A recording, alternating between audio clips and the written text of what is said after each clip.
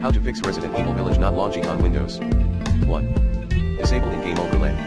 1.1 Disabling Discord overlay. 1.2. Disabling the GeForce Experience in-game overlay. 1.3. Disabling Steam overlay. 1.4 Check other common overlay applications, AMD Radeon ReLive, NVIDIA Shadow Play slash share, Overwolf, Razer Synapse Stats, Razer Cortex Gamecaster, Xbox Game DVR, Twitch, Plays TV. 2. Update to the latest game ready driver using the recommended Avast driver updater in this video guide. 3.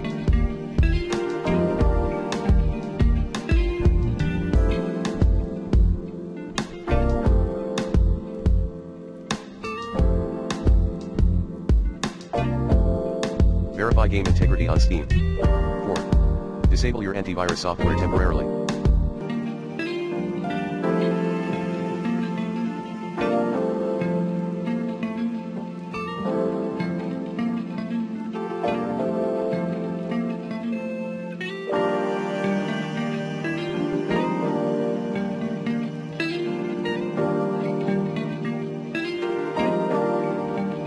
Into Steam's launch options. 6. Run the game as administrator. Like this. 7. Updating.